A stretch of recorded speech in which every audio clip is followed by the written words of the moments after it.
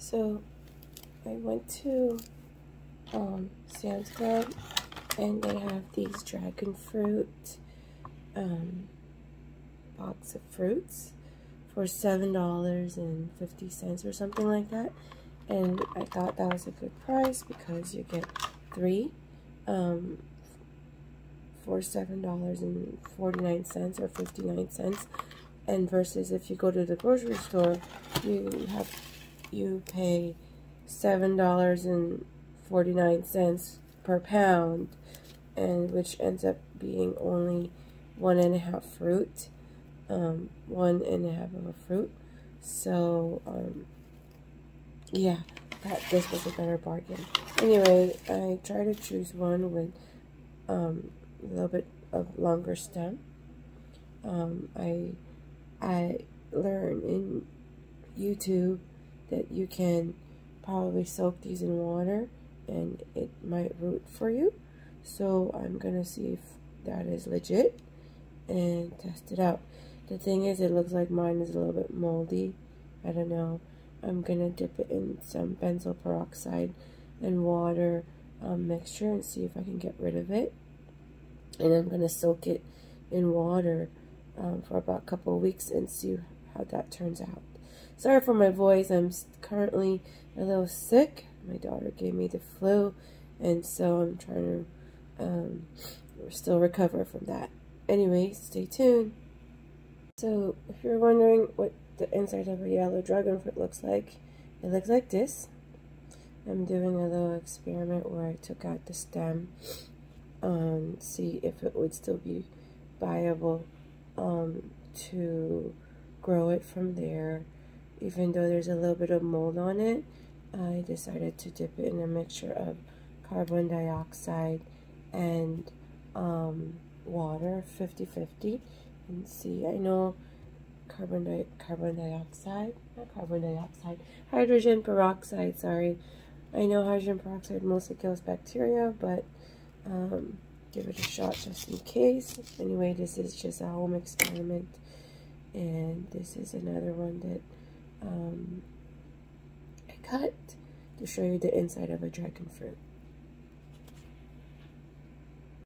so it looks like the stem from the dragon fruit I showed you previously may be a goner because of so much mold. I don't know if you can see it very well. The black stuff is all the moldy. I tried to salvage it using a mixture of hydrogen peroxide and water, but doesn't seem to be working.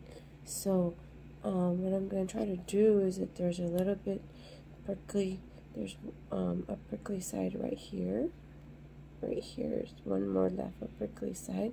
I'm going to see if I can cut this and graft it to an existing one I have outside and see if that one um, survives. Okay, stay tuned. So I also learned this in YouTube. Um, you want to get a V-shape cut of the node. Um, and you probably should be using clean um, scissors.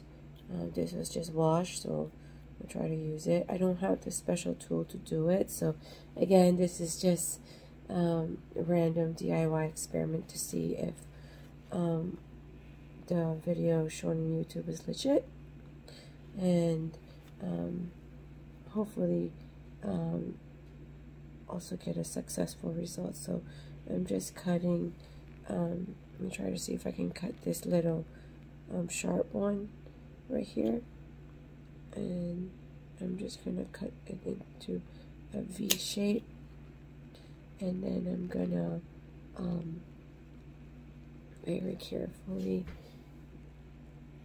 tape it onto the existing plant I have outside since I don't think this stem is viable anymore or salvageable because of because ah I have seed on me because of the amount of mold there are on it. So I'm not going to try salvage it. Instead, I'm going to see if I can salvage um, it using um, the graft method. And so I was able to cut that end off and got a view. Sorry, there's a video. I was able to cut this off. Got a V shape out of it. And I'm gonna do the same thing outside. This is my dragon fruit outside.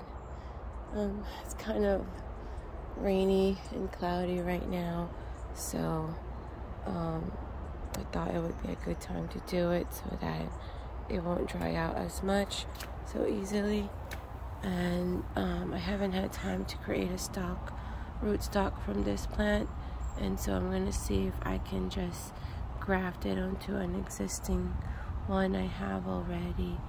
Um, so this is, I was thinking, since the other ones are also busy and grown, I wanted to do it on this one that I um, added onto it, added recently or a few months ago. So I'm going to see if I can add it or graft it onto one of these nodes. So I decided to remove this little piece of um,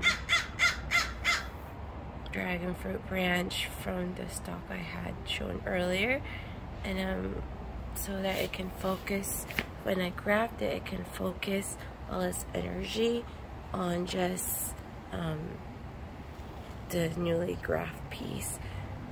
And I don't know because I also just repotted it so it might be too much but this is an experiment so we'll see. Hopefully it works.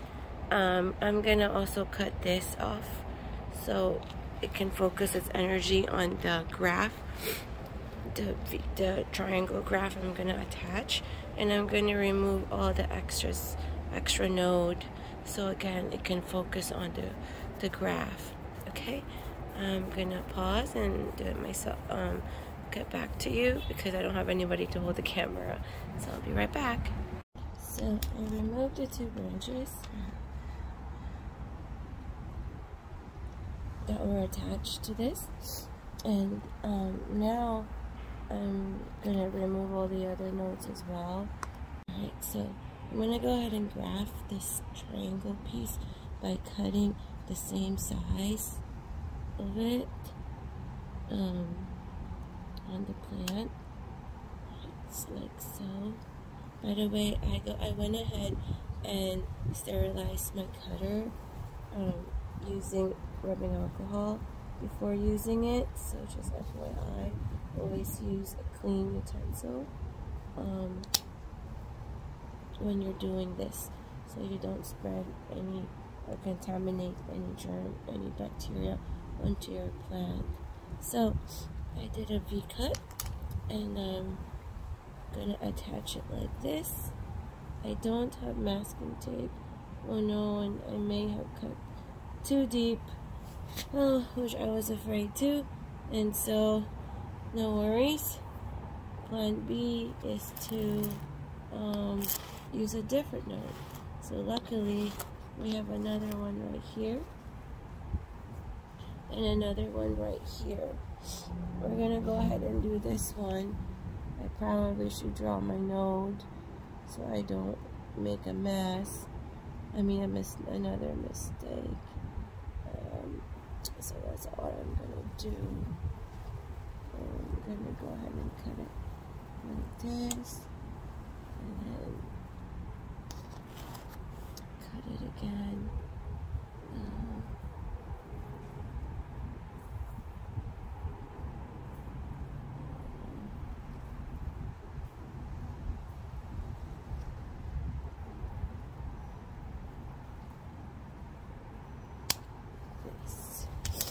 hopefully.